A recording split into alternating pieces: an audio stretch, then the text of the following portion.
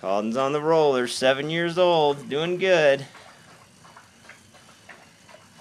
No help, he's doing it himself.